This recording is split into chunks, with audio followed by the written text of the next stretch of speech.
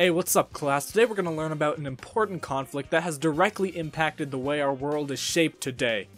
World War II? The Punic Wars? no.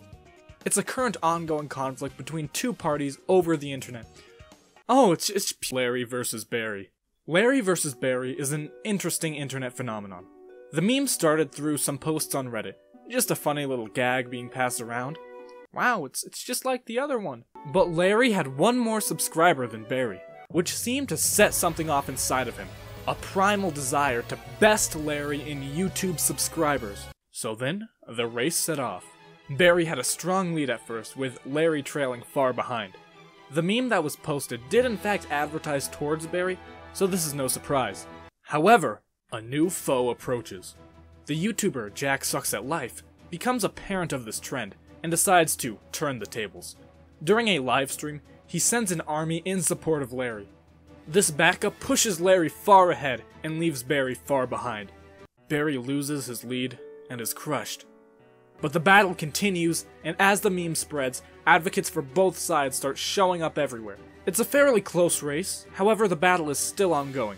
I have no idea when I'm gonna finish editing this video, so things may have really changed by then. As I record this, Larry has a lead, so, you know, let me know how it's going in the future. Did Cube World come out yet? Other off-brand Airy-based channels popped up. These channels are nowhere on the level that Barry and Larry are, but they are still growing at an astounding rate. These channels don't offer much in terms of content, and are just using this event to get some attention. Just like me! You fools, you, you fools have fallen for my scheme! If Larry and Barry were fully developed modern nations, these channels would be the street raccoons living off the trash that we leave behind. But, you never know. Maybe the raccoons will rise up one day and destroy us all. So, what exactly is going on here? Are they just two random channels that decided to fight each other? Or is this completely planned? Well, let's take a look into the Larry vs. Barry canon. In Larry's life story video, he claims that him and Barry were good friends in childhood. They had their differences, and over time, grew to hate each other.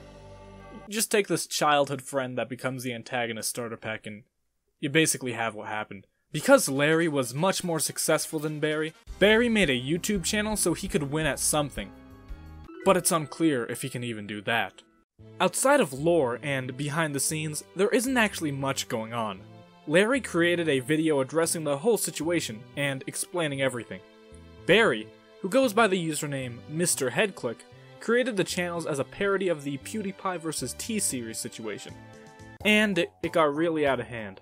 Larry, who is actually one of Muselk's editors, was given one of the channels since he has experience with YouTube. From there, both channels blew up way beyond their expectations, and now they're, they're stuck with a pretty massive viewer base. He states that he plans to use the channels for charity and is going to keep the Larry channel community driven. He also plans to continue the established lore and states that his explanation video is one of the only serious videos on the channel. Barry also made a similar video, saying that he would essentially do the same thing with his channel, keep it community driven, and take suggestions done by other people. Larry vs. Barry shows how quickly the internet hive mind could blow something up. The channels are still fairly new, so I'm sure there's going to be a lot more to come. But in a matter of only a week, they managed to shoot up all the way to 100,000 subs.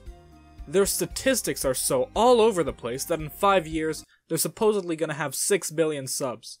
Well, you know, if that's the case, I think we all know what World War III is going to be about.